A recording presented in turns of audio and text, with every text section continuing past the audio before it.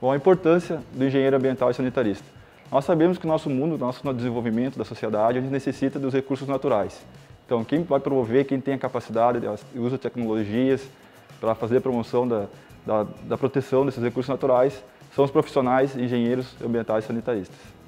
O engenheiro ambiental e sanitarista tem como principal função manter as condições gerais para a manutenção do meio ambiente. O grande diferencial do nosso curso é a disponibilidade de uma excelente estrutura de laboratórios, Podemos citar laboratórios de águas, de microbiologia, de processamento topográfico, de solos, entre outros.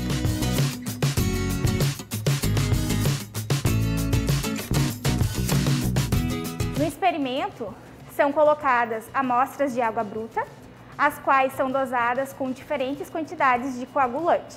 O coagulante mais utilizado nas estações de tratamento de água é o sulfato de alumínio.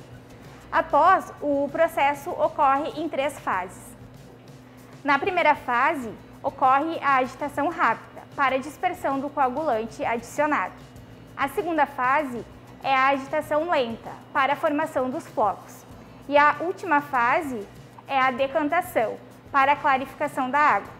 A melhor dosagem que fornece a remoção de turbidez é considerada a melhor dosagem experimental nas estações de tratamento de água.